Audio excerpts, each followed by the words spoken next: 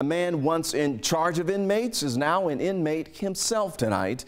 Martin Moten, a detention officer in DeKalb County, is accused of sexually assaulting two female inmates. The sheriff's office says the inmates accused Moten of making sexual contact with them between March and June. Moten is now on administrative leave. By the way, he's worked at that jail since 2004.